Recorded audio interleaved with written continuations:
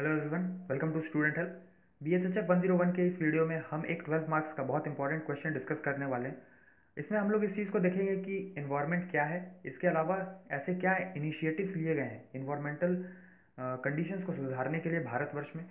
इस चीज़ों को डिस्क्राइब करें तो स्टार्ट करते हैं उसके पहले। लेकिन अगर अब तक अब तक आपने हमारा चैनल सब्सक्राइब नहीं किया है तो डू सब्सक्राइब द चैनल और यहाँ पे आपको वो सारे कंटेंट मिल जाएँगे जो कि आपको एग्ज़ाम में पास करने के लिए और अच्छे नंबर लाने के लिए ज़रूरी है।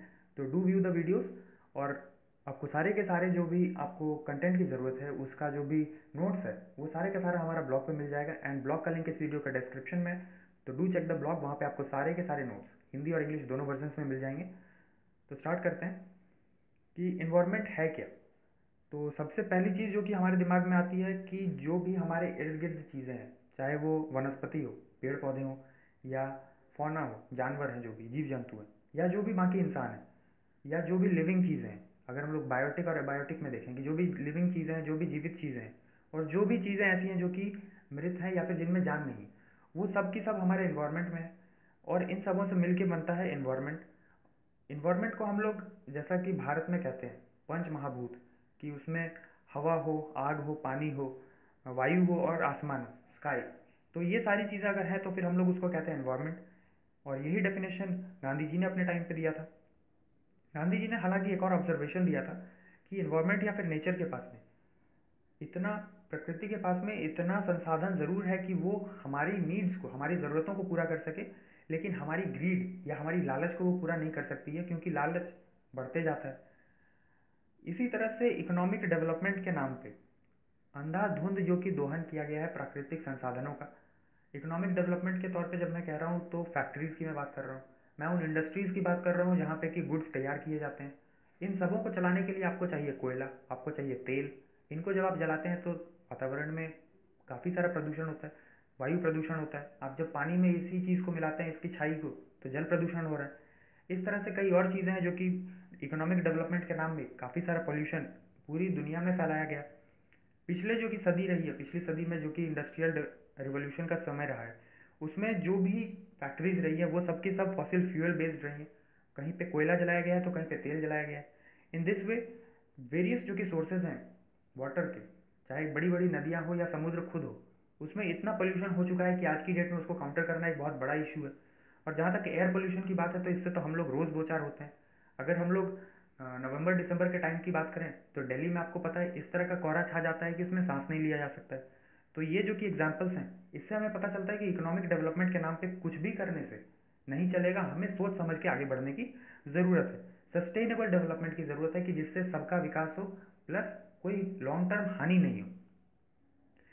वहीं जो कि डेवलपमेंट के बेनिफिट्स आपको पता है, जो भी बड़ी बड़ी फैक्ट्री लगाते हैं, जो ओनर्स हैं, उनके पास में सारा पैसा जाता है। जो वर्कर्स हैं, उनके पास में कुछ बहुत कम पैसा जाता है। और बाकी जो लोग की उस सिटी के आसपास रहते हैं वो उस पॉल्यूशन के तो शिकार हैं, लेकिन उनको उससे कोई फ़ायदा नहीं हो रहा है। तो इस तरह से हमें ये देखने की ज़रूरत है कि भले ही इंडस्ट्रियल जो कि इलाके हैं, जो भी बड़ी बड़ी कंट्रीज़ है जहाँ पे खूब इंडस्ट्रियल डेवलपमेंट हुआ, वो कंट्रीज़ वो सिटीज़ तो अमीर हो सकते हैं, लेकिन जो कि इन्वायरमेंट है वो डिग्रेड हो गया और जो कि नॉर्मल लोग हैं, उनकी लिविंग कंडीशंस बुरी होती चली गई। ग्लोबल वार्मिंग इसका एक बहुत बड़ा एग्ज़ाम्पल है कि डेवलप्ड कंट्रीज़ ने इतना कार्बन उत्सर्जन किया कि आज की डेट में पूरी दुनिया में इसको लेकर प्रॉब्लम्स चल रहे हैं। लेकिन अगेन, डेवलप्ड कंट्रीज़ इससे बड़े आराम से भाग गई कि नहीं? हमने तो ये किया ही नहीं है। आप देख लो आपको जो करना है। लेकिन इंडिया में इन चीज़ों को रोकने के लिए कि यहाँ पे कोई एक फैक्ट्री ना खड़ा कर दे, कोई एक कंपनी ऐसे नहीं करने लगे कि जो मन सो कर ले और बाद में भारत के ही लोगों को प्रॉब्लम हो। तो गवर्नमेंट ऑफ़ इंडिया ने काफ़ी सारे इनिशिएटिव्स ले रखे हैं, जो कि बयालीसवां अमेंडमेंट था, संविधान संशोधन था, उन्नीस सौ छिहत्तर का। इसमें एक आर्टिकल को ऐड किया गया, जिसमें directive principles of state policy को ऐड किया गया और इसमें काफ़ी सारी चीज़ें बताई गई हैं कि कैसे इन्वायरमेंट का यूज़ करना है और कैसे उसको बचा के रखना है। इसमें पहला जो कि इम्पोर्टेंट पॉइंट है वो ये है कि प्रोटेक्शन होना चाहिए इन्वायरमेंट का और जो भी वाइल्ड लाइफ है फॉरेस्ट है, उनका सेफ़ गार्डिंग हो। जैसे कि आपको पता है काफ़ी सारे वन्य जीव अभयारण्य हैं, जैसे कि नेचुरल आपको मिल जाएँगे नेचुरल पार्क्स हैं, इसके अलावा काफ़ी सारे आपको वाइल्ड लाइफ सेंचुरीज मिलेंगे, जैसे कि जिम कॉर्बेट नेशनल पार्क है। तो इन जगहों पे क्या है, आपको जगह जगह पे दिखेगा कुछ जानवरों को सेफ़ गार्ड करके रखा गया है। वहाँ पे आप पेड़ नहीं काट सकते, वहाँ पे आप फैक्ट्री नहीं लगा सकते। तो इससे क्या है? इन्वायरमेंट एंड वाइल्ड लाइफ दोनों की चीज़ों को हम लोग सेव कर रहे हैं, ताकि आने वाली पीढ़ियों तक वो चीज़ें चले। इसके अलावा, जो कि राज्य सरकार है या फिर जो भी कंट्री की सरकार है, इसके लिए एक एक्ट सेट किया गया, एक उनके लिए कानून बनाया गया है कि वो लोग ज़्यादा से ज़्यादा एनवायरनमेंट को सेफ़ गार्ड करने की कोशिश करेंगे, वो लोग जंगलों को बचाने की कोशिश करेंगे। हालाँकि ये होता नहीं है, लेकिन ये एक्ट है। इसके अलावा जो बातें हैं कि फंडामेंटल ड्यूटीज़ के तौर पे ऐड किया गया है कि हर इंडियन का ये एक राइट है कि ये एक ड्यूटी है बेसिकली राइट नहीं, ये एक ड्यूटी है कि वो प्रोटेक्ट करे और इम्प्रूव करने की कोशिश करे भारत की इन्वायरमेंटल कंडीशंस को, वो forest lakes rivers wild life इन सबों के प्रति कंपैशन रखे और इन सबों को हो सके तो बेहतर बनाने की कोशिश करे।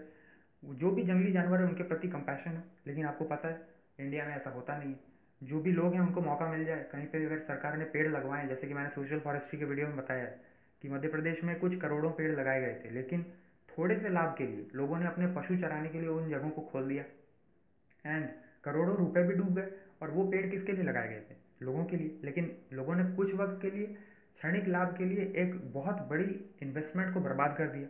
इसी तरह आपको दिखेगा तालाब हो या नदी हो, लोगों को जो मन से उसमें प्लास्टिक में वो लोग चीज़ें बाँध बाँध के डालते जाते हैं। इस तरह रिवर्स एंड लेक्स का पोल्यूशन होता है। और वाइल्ड लाइफ के प्रति तो खैर हम लोग कभी भी सिंपैथेटिक रहे नहीं है। किसी के घर पे सांप आ जाए तो उसको निकालने की जगह उसको मारना लोग ज़्यादा प्रेफर करते हैं। इसके अलावा आपको दिखेगा, मुंबई में कई जगहों पे शेर बाहर आ जाते हैं। एक्चुअली वहाँ पे शहर पहुँच गया। जंगल में शहर पहुँचा है, ना कि शेर जंगल से बाहर निकल के शहर में आ रहा है लेकिन शेर अगर बाहर आया तो शेर को मारा जाएगा। दिस इज़ द रूल तो इस तरह से चीज़ें नहीं सुधरने वाली हैं। वाइल्ड लाइफ के लिए फिर क्या हुआ? प्रोटेक्शन का एक्ट बनाया गया 1974 में कि कोई भी किसी जानवर को नहीं मार दे। इसके अलावा पोल्यूशन कंट्रोल के लिए काफ़ी सारे एक्ट्स हैं जो कि आपको इस लिस्ट में दिखेगा। ये सब होने के बावजूद, उन्नीस सौ चौरासी तीन दिसंबर को जो भोपाल गैस ट्रेजेडी हुआ, जिसमें कोई पैंतीस सौ लोगों की मौत हुई आधिकारिक तौर पे और पता नहीं कितने लोग मारे गए होंगे जिनको सरकार ने कभी माना नहीं। इससे आपको ये पता चलता है कि भले ही कानून बन चुके हों, लेकिन इसका इम्प्लीमेंटेशन ग्राउंड लेवल पे होता नहीं है। अगर होने लगेगा तो चीज़ें सुधर जाएँगी। तो ये था एनालिसिस इस पूरे टॉपिक का। मैंने सारे पॉइंट्स कवर कर दिए हैं जो कि आपको लिखने की ज़रूरत है। अगर फिर भी आपको लगता है कोई पॉइंट है जो छूट गया है तो do comment so that's all for the video thanks for listening and god bless you all